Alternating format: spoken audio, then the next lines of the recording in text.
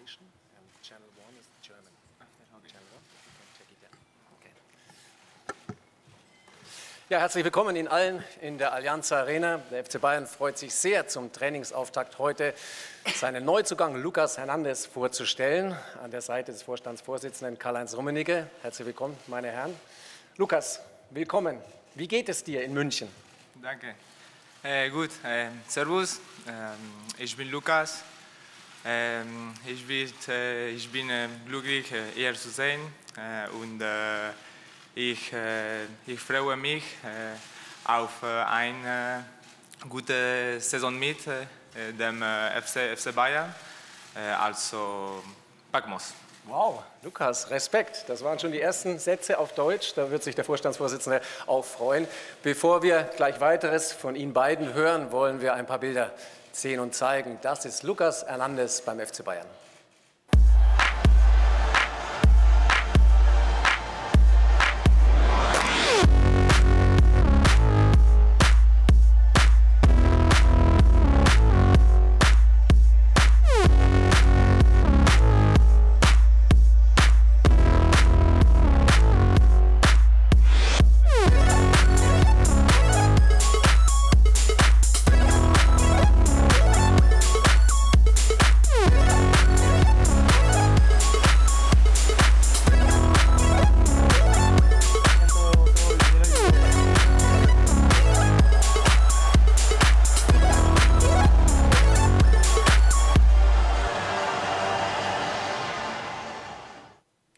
Lukas Hernandez beim FC Bayern München. Karl-Heinz Rummenigge, mit wie viel Stolz neben der Erwartung erfüllt Sie das, einen Weltmeister bei uns heute verkünden zu dürfen?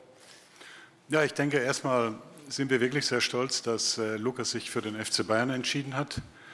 Das äh, ist ein toller Spieler. Ich habe ihn insbesondere bei der Weltmeisterschaft mit Hassan ausreichend, äh, ich sage jetzt nicht gescoutet, aber beobachtet. Und wir fanden ihn damals schon äh, toll, wie er da in der Weltmeistermannschaft, äh, damals eben als linker Verteidiger, äh, aufgetrumpft hat, muss man sagen, im wahrsten Sinne des Wortes und äh, eine tolle Leistung abgeliefert hat. Und ähm, unsere Scouting-Abteilung hat ihn das ganze Jahr verfolgt und wir sind glücklich, dass wir den Transfer realisieren konnten. Das ist ein Spieler, der dem FC Bayern sehr, sehr gut zu Gesicht stehen wird. Er hat darüber hinaus auch noch den Vorteil, dass er sowohl als Innenverteidiger als eben auch als linker Verteidiger spielen kann. Das gibt dem Trainer damit auch äh, taktisch mehrere Möglichkeiten zu agieren und ähm, deshalb sind wir sehr stolz, sehr glücklich. Ich äh, glaube auch sagen zu können, nicht nur der FC Bayern darf sich glücklich schätzen, sondern auch die gesamte Bundesliga, dass wir damit einen weiteren Weltmeister eben hier in der gesamten Bundesliga äh, zu Hause haben. Dankeschön Ihnen beiden. Dann freuen wir uns auf Ihre Fragen. Sie sind ja sehr zahlreich gekommen. Bitte wie immer kurzes Handzeichen und auf das Mikrofon warten. Und noch vorneweg, Lukas wird auf Französisch antworten. Das heißt, nutzen Sie also den Translation Service auf Deutsch und Englisch. Bitte schön. Fangen wir vorne an. Zweite Reihe, Julian Wolf.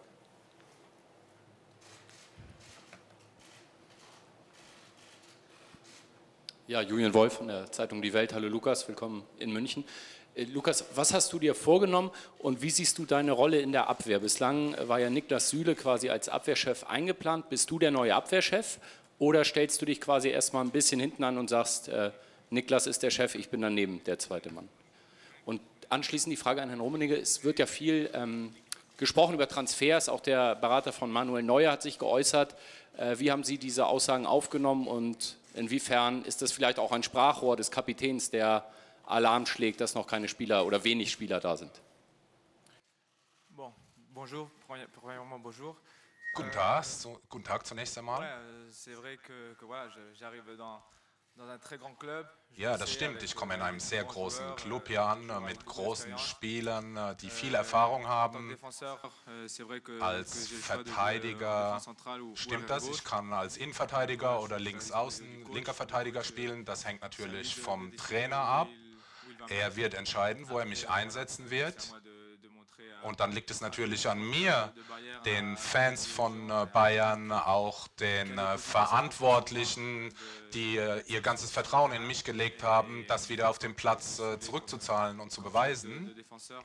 Und was die Rolle des Abwehrchefs angeht, ich denke, dass alle Verteidiger bei F beim FC Bayern große Spieler sind, die viel Erfahrung haben. Euh, Und ich denke, jeder kann Abwehrchef sein bei dieser Verteidigung. Euh, ich sehe meine Rolle als sehr gut. Ich äh, kann auch ein Leader sein, äh, so ist mein Charakter. Und äh, den Rest werden Sie sehen.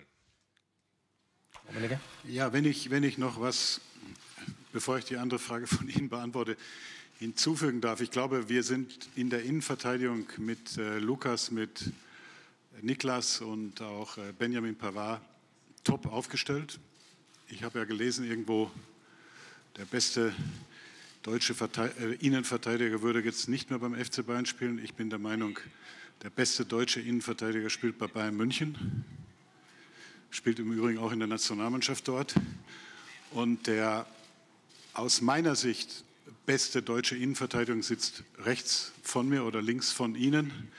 Also ich glaube, wer drei solche Spieler in der Innenverteidigung hat, braucht sich keine Gedanken im Verbund mit David Alaba und auch äh, Joshua Kimmich machen. Ich denke, was die Defensive betrifft, sind wir top aufgestellt. Das ist nicht nur, glaube ich, für die Bundesliga top, sondern ich denke auch, was europäische Standard betrifft, sind wir damit sehr, sehr gut aufgestellt.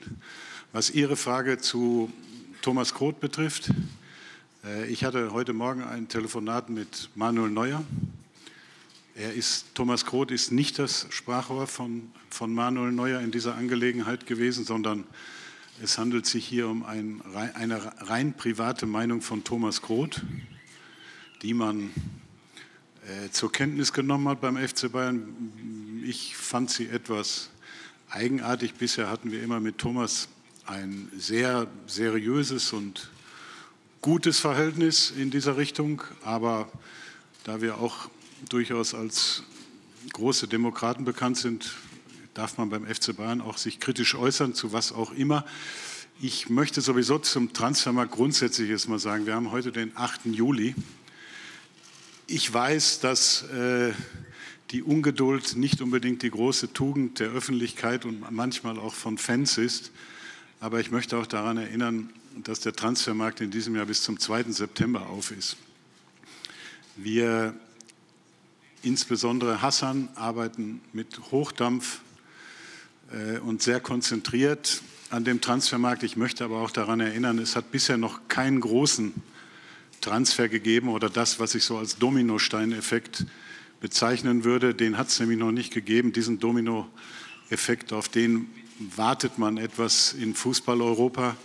Wenn es den Dominoeffekt gibt, dann werden auch äh, so davon kann man ausgehen, viele Transfer folgen. Und ähm, wir sind in Position, wir haben äh, ausreichend Geduld und ich möchte auch in diesem Zusammenhang erinnern, wir hatten oft Transfer sehr spät. Also wenn ich mich an die Transfer, Javi Martinez war, glaube ich, ein Transfer, den wir am 29. August mal kurz vor Toreschluss getätigt haben oder auch Xabi Alonso war, ich glaube, sogar einen Tag später.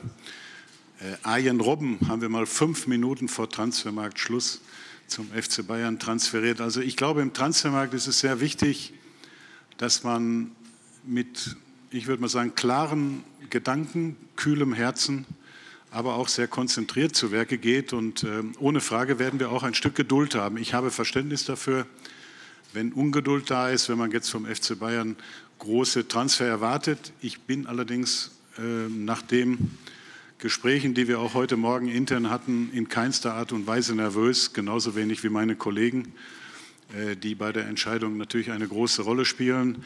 Wir werden am Ende des Tages eine Mannschaft haben, die in allen drei Wettbewerben sehr, sehr wettbewerbsfähig antreten wird und unsere Ziele in diesem Jahr werden nicht geringer werden. Deshalb ich, wir werden den ein oder anderen Transfer noch tätigen müssen.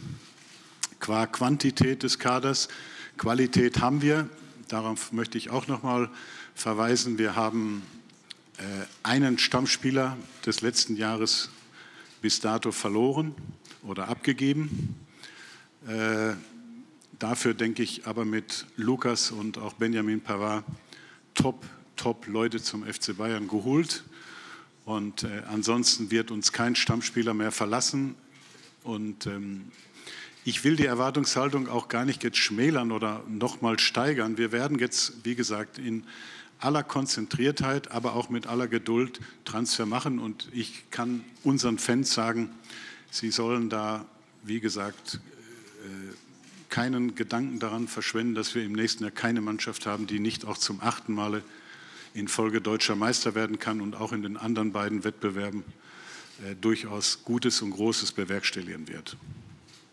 Danke. Vierte Reihe, Taufik Khalil. Lukas, ähm, Bonjour in München, Taufik Khalil vom Bayerischen Rundfunk. Zwei Zahlen, 80 und 21. 80 Millionen hat der FC Bayern gezahlt für Sie, Rekord für die Bundesliga. 21, Ihre Nummer, die Nummer von Philipp Lahm. Beides für Sie eine Ehre oder auch eine Last, dass man sich da auch beweisen muss im Trikot und für das viele Geld?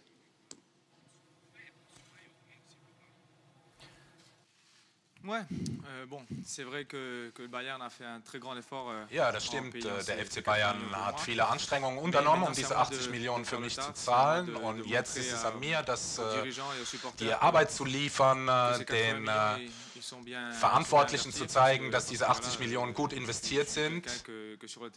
Denn ich bin jemand, der auf dem Feld immer alles gibt. Und das möchte ich hier auch beweisen, auf dem, Spielplatz, auf dem Spielfeld. Was die Nummer 21 angeht, klar, das ist eine historische Nummer hier in diesem Verein.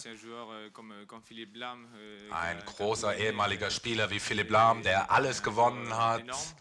Es ist wirklich ein großartiger Spieler.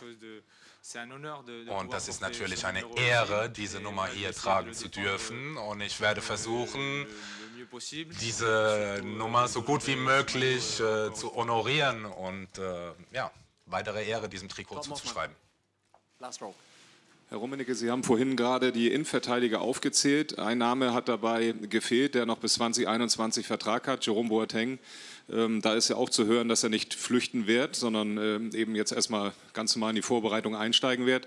Haben Sie bewusst den Namen ähm, nicht genannt? Ist es für Sie mehr als klar, dass er in der Transferperiode die Bayern verlassen wird? Nein, das ist, das ist nicht klar. Das äh, ist korrekt, was Sie gesagt haben, dass er noch einen Vertrag hat, der eben zwei Jahre Laufzeit hat. Ähm, wir werden in aller Ruhe abwarten, wie sich die Dinge jetzt entwickeln bis zum Transfermarktschluss, ob er beim FC Bayern bleiben will, will wird oder nicht. Einer der Gründe, weshalb ähm, Matz ja den FC Bayern verlassen hat, oder der wichtigste Grund war eigentlich, dass der Trainer eben primär mit Niklas, Lukas und eben Benjamin plant das ist etwas, was ähm, für Matz gegolten hat, was aber auch für Jerome eben gilt. Und dementsprechend muss sich Jerome am Ende des Tages positionieren und auch entscheiden, ohne Frage. Daneben Uli Köhler. Ja. Lukas, bonjour. Ähm, Sie sind äh, verletzt gewesen, haben eine Operation hinter sich gebracht. Inwieweit können Sie dem FC Bayern helfen? Haben Sie schon einen Plan, wann das äh, gut passieren könnte? Und vielleicht könnten Sie sich auch so ein bisschen beschreiben. Sie sind ja nicht nur ein super Innenverteidiger, sondern ich glaube, die Bayern haben einen Mentalitätsspieler gesucht. Sind Sie der?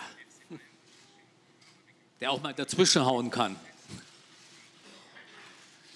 Oui, bien sûr. Je suis, je suis un joueur avec, euh, ja, avec beaucoup de mentalité. Ja, ich bin ein euh, Spieler voilà, mit äh, viel Mentalität. Qui surtout, euh, qui surtout fier de, de, de tout, surtout de, de, fier de, de porter ce maillot. Einer, der stolz ist, stolz dieses Trikot ce, zu tragen, stolz diese Farben zu verteidigen. Das ist etwas ganz Großes für mich. Wie ich vorher schon gesagt habe, Sie haben eine große Investition getätigt, um mich hierher zu holen. Und jetzt ist es an mir, das zurückzuzahlen und allen hier zu zeigen, dass ich das auch verdiene, diese Farben zu tragen. Ich werde alles Mögliche machen und alles Mögliche geben, um das zu zeigen. Und was meine Verletzungen angeht, ja, also ich wurde vor drei Monaten operiert. Die Verletzung, das Band fühlt sich sehr gut an. Ich fühle mich sehr gut. Ich arbeite weiter immer in äh, kleinen Schritten und hoffe natürlich, dass die medizinische Abteilung äh, bald grünes Licht gibt, dass ich auch diese Bundesliga-Saison äh, mit einem Top-Niveau starten kann. Also ich werde auf jeden Fall kämpfen und alles geben dafür, dass ich diese Meisterschaft mit der Mannschaft beginnen kann und die Farben des Trikots von Anfang an verteidigen kann. Wenn ich noch was dazu fügen darf, ich war ja auch mal als Stürmer tätig. Also der Stürmer Karl-Heinz Rummenigge hätte ungern gegen den Verteidiger Lukas Hernandez gespielt, weil er ist schnell, er ist aggressiv, er hat ein gutes Auge. Das ist schon das, was ich so als Top-Qualität in der Abwehr sehen würde. Das wäre ein Spieler gewesen, der mir wahrscheinlich nicht so gut gelegen hätte. Rechts hier, Florian Kinas. Herr Rummenigge, Sie haben vorher von der Ungeduld gesprochen in der Öffentlichkeit. Die Ungeduld ist ja aber auch nicht zuletzt durch den Präsidenten geschürt worden, der schon im Februar angekündigt hatte, ähm, man werde das größte Investitionsprogramm der Clubgeschichte starten. Und wenn Sie wüssten, wen wir alles schon verpflichtet haben, Stand jetzt haben Sie noch nicht so wahnsinnig viele Spieler verpflichtet. Haben Sie denn mit Uli Hoeneß mal darüber gesprochen, was ihn dazu bewogen hat, das damals schon so vollmundig zu erklären? Erstmal hat er ja mit, gewiss, mit, gewissen Fakten recht. Wir haben ja bis dato 118 Millionen, glaube ich, investiert. Das ist schon mal vom Volumina her ohne Frage das höchste, äh, was wir bisher im Transfermarkt, glaube ich, äh, gestemmt haben. Und wir sind noch nicht am Ende. Also ich, ich wie gesagt, ich denke, wir sind grundsätzlich bereit, auch das, was ich so als äh, Topspieler bezeichnen würde, nach wie vor noch zu holen. Wir haben mit Lukas und äh, speziell Benjamin, auch die zwei, haben wir bereits nicht nur gute, sondern auch ohne Frage teure Spieler verpflichtet. Und ähm, wir sind auf gewissen Positionen jetzt noch äh, in dem operativen Bereich tätig. Das wird auch noch Geld kosten. Also am Ende des Tages wird Uli Davon kann man ausgehen, zumindest von der Größenordnung, äh, die da von uns gestemmt werden muss, äh, ohne Frage recht behalten. Hier rechts, Alexis Menüsch. Allerdings, allerdings, vielleicht darf ich noch eins hinzufügen. Wir hatten heute Morgen auch ein Gespräch. Äh, ich glaube, es ist gut, wenn wir in der Zukunft etwas weniger in der Öffentlichkeit über unsere Aktivitäten oder Operationen sprechen, weil das ist dann nicht hilfreich. Das weckt dann natürlich auch Erwartungshorizont, der die Ungeduld nicht unbedingt kleiner werden lässt. Alexis. Bonjour Lucas, Alexis Menuge, correspondant de l'équipe de France Football à Munich, on va faire en français. Bonjour, bienvenue. Euh, D'abord, est-ce que tu as parlé au coach Also zunächst einmal wollte ich wissen, äh, hast du mit dem Coach gesprochen, deine Einsetzbarkeit auf äh, vielen Positionen, eine Dreierverteidigungskette, würde dir das gefallen? Und die zweite Frage, äh, der Transfer von deinem Freund Griezmann zu Barca, das sieht immer echter aus, keine Chance, dass er hierher kommt? Non, j'ai pas, pas eu l'occasion encore de, de parler. Nun, zunächst einmal äh, nein, ich konnte noch nicht mit dem Trainer sprechen. Heute beim Training, denke ich, werden diese Gespräche anfangen. Nun, ich habe noch nie in einer Fünfer-Abwehrreihe gespielt. Son, son, son jeu, euh, il, il évolue dans, dans une défense à 4. Je pense que Normalerweise spielen sie mit einer Viererkette. Ich denke nicht, dass der Coach jetzt großartig seine Taktik ändern wird. Ich weiß es nicht. Wir werden gemeinsam reden, wir werden äh, diskutieren und dann wird man sehen, welches Spielsystem er nutzen wird. Und dann, was Griezmann angeht, mein Kumpel, ja, das ist natürlich ein großer Spieler. Viele große Vereine hätten ihn gerne. Äh, man spricht viel über Barcelona. Klar, wäre toll, ihn hier zu haben. Es ist ein großer Spieler, ein großer Verein, ein großer Spieler. Ich weiß nicht, ob der Verein an ihm interessiert ist, aber ich weiß auch nicht, ob Barcelona perfekt ist für ihn oder ob er hierher kommen kann. Keine Ahnung, aber wenn es die Chance gäbe, dass er hierher kommen könnte, könnte er natürlich auch Großes hier machen, vielleicht sogar der großartigste Spieler der Welt werden. Lukas, du hast deine Familie mitgebracht hier zur Vorstellung. Ähm, wen hast du denn alles dabei und warum ist der Familie so wichtig? Warum sind die Leute hier? Und Anschlussfrage äh, an Herrn Rummenigge. Herr Rummenigge, äh, die Kollegen von der SZ haben heute geschrieben, Nico Kovac hat zwischenzeitlich an Rücktritt gedacht. Wussten Sie davon? Überrascht Sie diese Aussage im Nachhinein oder wie bewerten Sie das? Wer soll jetzt zuerst antworten? No, Lukas. Euh, Ja, meine Familie ist hier, meine Frau, mein Agent, mein Sohn. Ich glaube, der hat es jetzt ein klein wenig satt, der fängt an zu weinen. Meine Freunde sind hier. Es stimmt, ich bin ein sehr familiärer Mensch. Ich mag es, äh, innerhalb der Familie zu sein. Dieses Jahr wird mein älterer Sohn ein Jahr alt. Das ist das Größte, das mir bisher passiert ist im Leben. Und jetzt liegt es an mir, ihm die richtigen Werte im Leben zu vermitteln und ihm all das beizubringen, was es braucht, um ein großer Mensch zu werden. Und äh, was die andere Frage angeht mit dem Trainer, das wusste ich nicht einmal. Ähm, für mich ist es der Trainer vom FC Bayern und ich hoffe, dass er hier bleibt. Das ist nicht meine Wahl, meine Entscheidung. Ob er weitermacht oder nicht, äh, das liegt an den Verantwortlichen, nicht an mir. Weiter habe ich dazu nichts zu sagen. Also wegen diesem Artikel, den ich noch nicht gelesen habe, aber ich gehe mal davon aus, dass das, was Sie gesagt haben, äh, stimmt, war mir nicht bekannt, ist ein Gerücht. War das eine Aussage von ihm? Dann sollten wir es auch dabei belassen. Bei im Moment ist die Gerüchteküche sehr groß und da werden viele Dinge natürlich auch manchmal überstrapaziert. Dann oben links Florian Plettenberg. Servus Lukas, Florian Plettenberg, Sport 1. Ähm, bist du so nett, könntest du mal erklären, wer hat dich von den Bayern dann letzten, End, letzten Endes überzeugen können? Waren das Gespräche mit Niko Kovac, mit ähm, Salihamidzic oder mit einem der Bosse? Und was war der Ausga ausschlaggebende Punkt dafür, dass du dich für Bayern entschieden hast?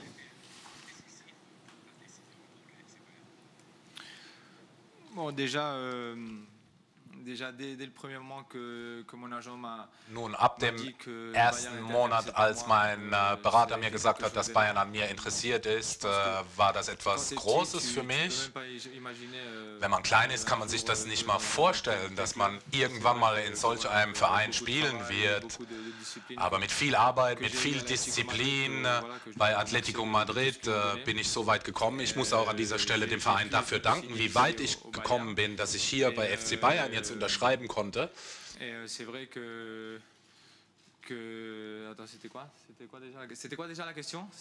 Was war die Frage, bitte nochmal?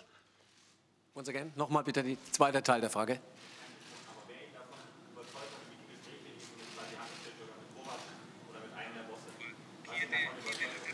Ja, ah, la personne, sorry. Ouais, non, j'ai eu beaucoup de discussions avec, euh, avec Hassan. Ja, ich habe viele Gespräche mit Hassan geführt. Ja, stimmt. Äh, auch mit äh, Tolisso. Es ist ein guter Freund von mir. Wir kennen uns aus der Nationalmannschaft, haben da tolle Momente miteinander verbracht und dann auch mit Kingsley Coman. Also es sind vor allen Dingen die Franzosen, die mir vom Verein erzählt haben und die mir gesagt haben, ja, unterschreib hier. Aber klar, in meinem Kopf äh, äh, war eigentlich schon alles klar. Also man musste mich gar nicht großartig überzeugen. Noch was dazufügen. Also Hassan hat sich extrem um äh, Lukas bemüht. Er war diverse Male in Madrid, hat äh, mit Hassan oder auch seinem Berater Kontakt gehabt und äh, wir waren dann irgendwann final, ich glaube im Februar war es, in Madrid und haben den Transfer dann gemacht. Aber man muss schon klar und deutlich sagen, Hassan war hier schon sehr der Spiritus Rector des Transfers. In der Mitte links, Stefan Kumberger. Herr Rummenigge, Jahrzehnte hier. Extra in grün. Ähm, Herr Rummenigge, jahrzehntelang gab es ja den Spruch, ein Angebot vom FC Bayern lehnt man nicht ab. Den Spruch haben Sie selber auch schon äh, oft zitiert. Jetzt hat man den Eindruck, in letzter Zeit ist es nicht mehr so, dass die äh, Spieler sofort alles zusammenpacken, wenn sie hören, der FC Bayern will mich. Woran liegt es und ist es eine neue Entwicklung? Stichwort Leroy Sané, der ziert sich ja auch eher.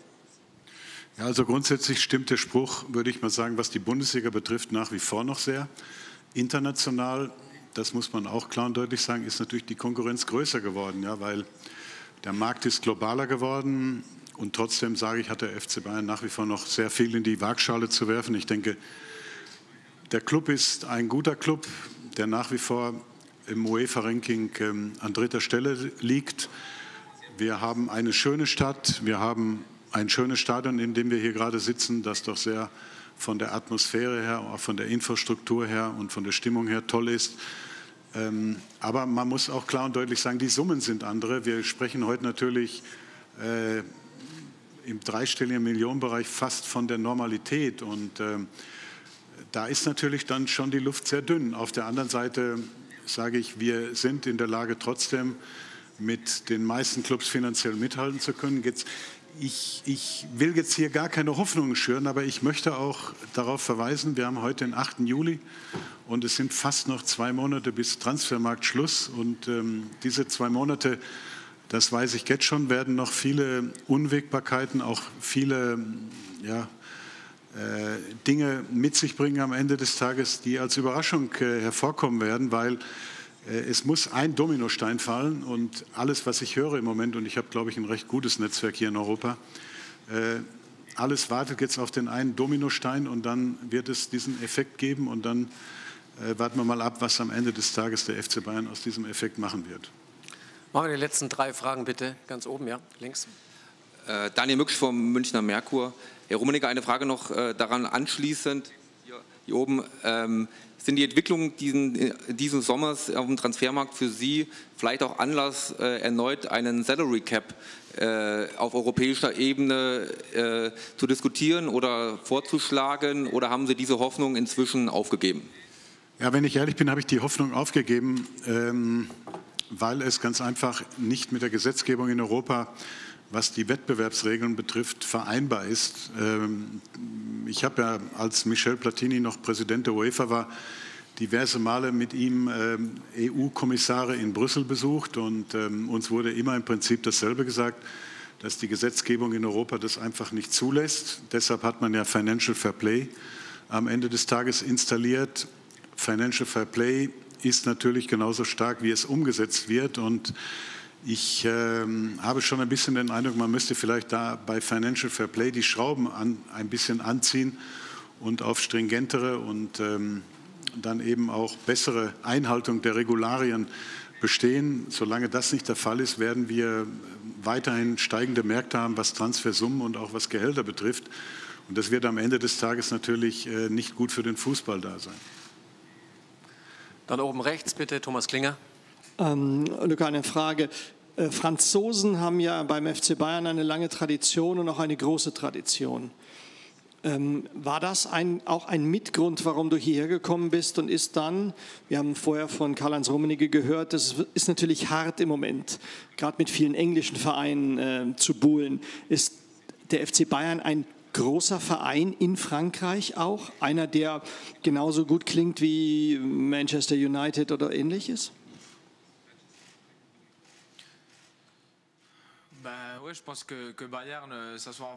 Ja, ich denke, den FC Bayern, den sieht man in Frankreich, in Spanien, in Italien. Das ist ein großer Club, so wird er wahrgenommen. Es ist einer der besten Vereine der Welt. Wenn man äh, die Trophäenliste sieht, was da alles schon gewonnen wurde, also viele Clubs können das nicht aufweisen. Jedes Jahr kämpfen sie um die Meisterschaft, um den äh, Pokal. In der Champions League sind sie immer da, sind sie immer präsent. Also ganz klar, es ist einer der besten Vereine der Welt, das ist die Realität. Und das wird auch immer so sein, egal ob in Frankreich, in Spanien, es ist einer der besten Vereine der Welt. Und ich denke, jeder weiß das auch. Und was die Frage bezüglich der Franzosen angeht, ja, alle Franzosen, die schon bei Bayern gespielt haben, haben Großartiges erreicht, haben Titel gewonnen. Ich denke jetzt gerade kürzlich an Ribéry, aber auch an Lisa Razou, viele Franzosen, die schon hier gespielt haben, die diese wundervolle Champions League gewonnen haben, die Bundesliga gewonnen haben, den DFB-Pokal gewonnen haben. Also jetzt bei diesem Verein zu sein, das ist wie eine, in einer Familie zu sein. Ich bin noch nicht lange hier, aber ich spüre das schon, dieses Familien. Gefühl, man integriert sich sehr gut und sehr schnell.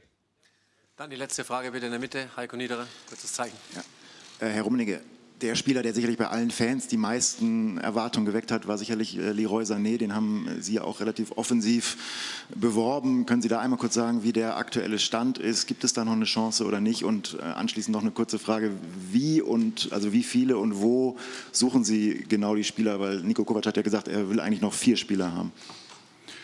Ja, der Stand der, bei Leroy Sané ist der, dass er, ich glaube, zumindest mein Kenntnisstand diese Woche aus dem Urlaub zurückkommt und auch während der Urlaubszeit äh, keine Gespräche führen wollte. Er wollte sich Gedanken um seine Zukunft machen. Das hat er sicherlich jetzt gemacht und äh, jetzt wird man das in aller Ruhe mal abwarten müssen, ob sich in der Richtung was bewegt.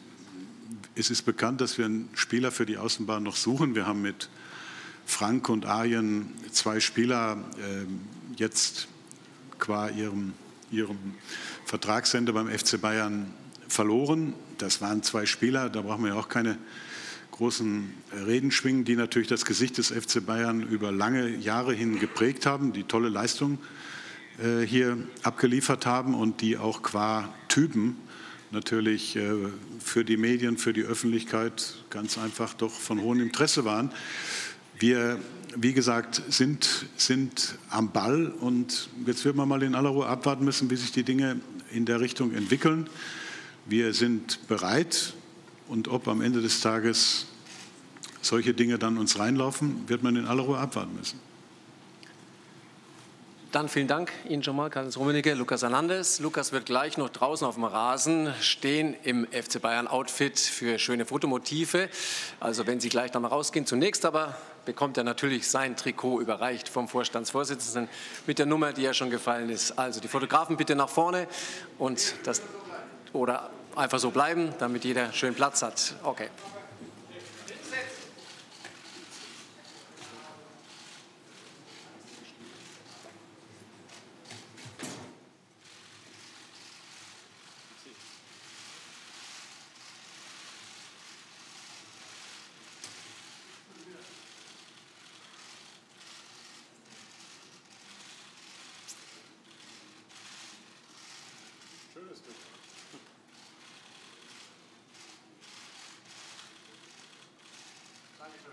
danke, dann gleich bis draußen, ein paar Minuten.